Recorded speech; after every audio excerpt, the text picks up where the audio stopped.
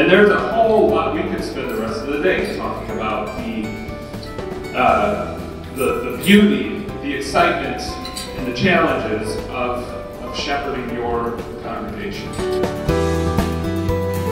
I hope that this morning, as has already been shared, that this is a morning of, of more connection, uh, that you've, you've connected with one another, that you can share these ideas beyond today. Can call one another with questions because, again, we are doing this together.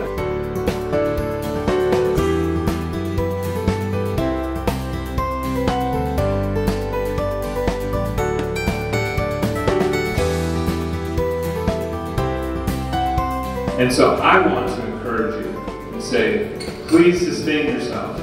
Because the world needs you, your churches need you, your neighborhoods need you, newer generations, like we just heard, need you to continue serving Christ's kingdom, uh, leading the church that